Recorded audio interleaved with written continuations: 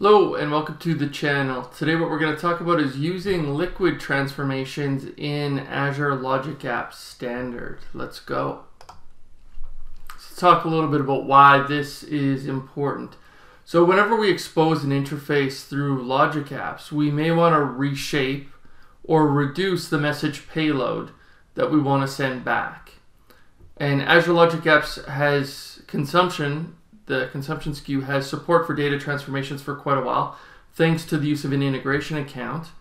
Um, however, when we talk about Azure Logic Apps Standard, we don't require an integration account, and we can go ahead and call upon transformations, including Liquid, directly in the standard service itself.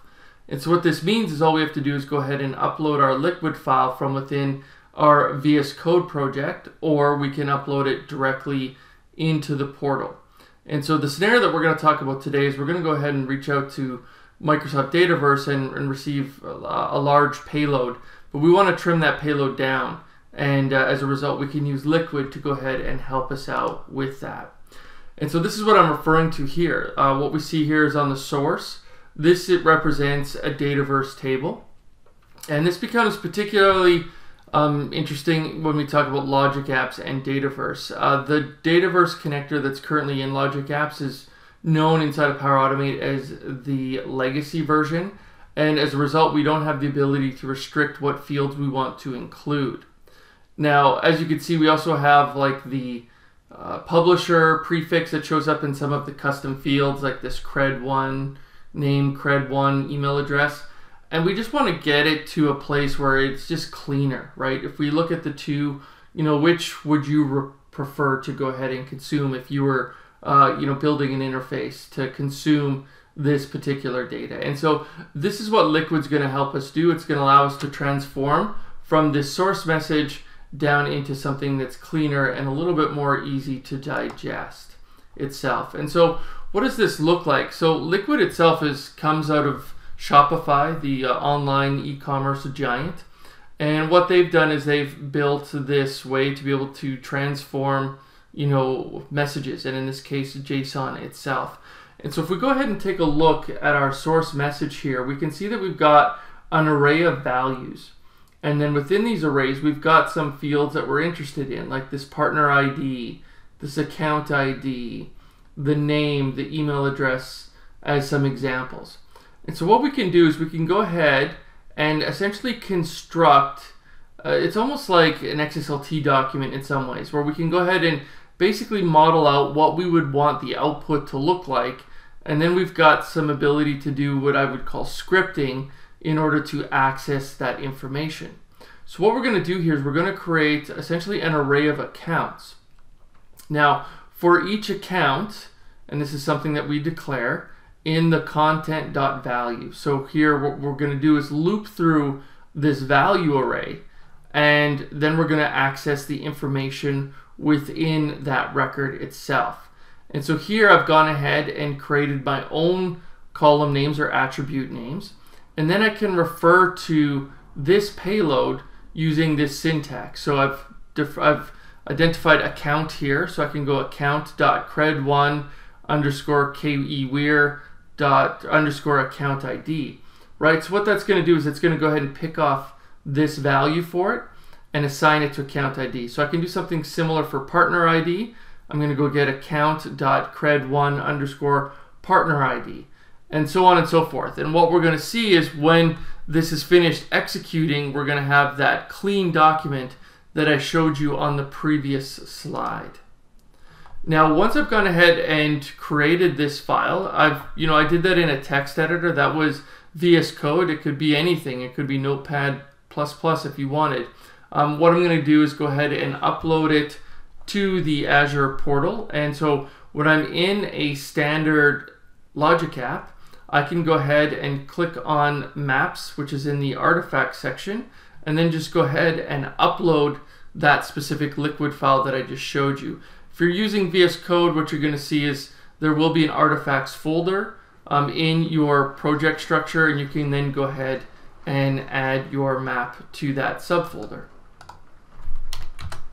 Okay, so let's go ahead, let's go run a demo, and we can go ahead and see uh, the output of this specific interface. Okay, so here's my liquid file. I already explained it in the slide, so I won't go into a whole lot more detail here. But what I want to do is just know where this is sitting on my specific disk, and then I'll go ahead and upload it. As I mentioned before, if I'm in a Visual Studio VS Code project rather, uh, the maps and the schemas folders get automatically created for me. I just went ahead and added my liquid file to that specific folder itself.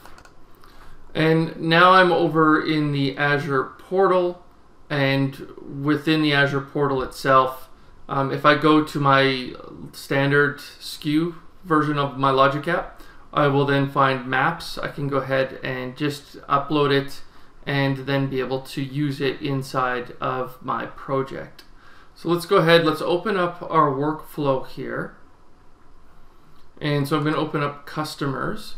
Now within this specific uh, Logic app, um, it is stateless. Uh, I do have debug mode that is currently enabled, um, just so that we can go ahead and see this uh, in production. You know, I would go ahead and disable it once I knew I was happy with everything.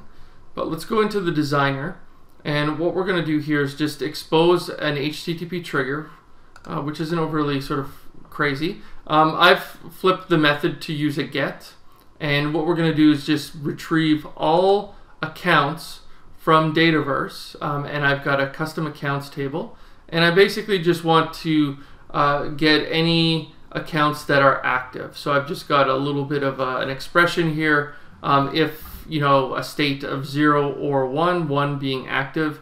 If it's not included, um, we're going to just go ahead and add it, uh, the 1, so that we'll only get the active records.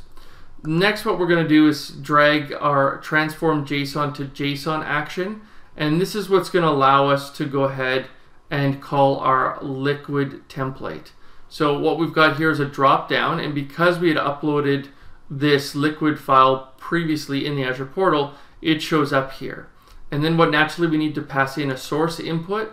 And the source input is really going to be our list of items. Basically that array of records that I showed you uh, previously in the slide.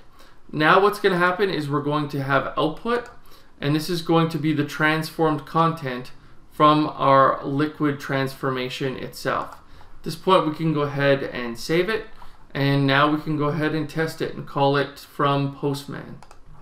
Okay, so I'm in Postman. I've copied my URL from my Logic app. I've changed my method to be a get. Now I can just go ahead and click on send and we will see our results sent back and it is much cleaner um, than what we would have received otherwise. Let's just flip back to the Azure portal just to go ahead and see what that would look like in the run history. So since I've got debug mode enabled, I can go ahead and check this out. And if we go ahead and list rows and then check out the raw outputs, we can see that we've got this payload which has a lot of additional information that we just don't need itself.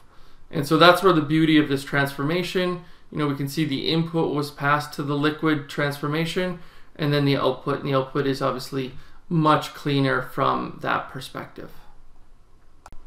Alright, so thanks for checking out another video on the channel. Hope you found this beneficial. Uh, go ahead check out more liquid transformations to see what you can do with them. Uh, obviously, you're on the YouTube channel already, so like, subscribes, comments, always welcome. Otherwise, go ahead find me on Twitter. Thanks again, and we'll see you soon on the channel. Take care.